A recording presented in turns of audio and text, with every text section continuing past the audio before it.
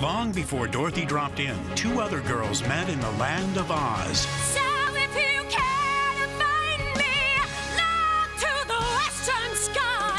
They became friends until they called one good and the other one wicked.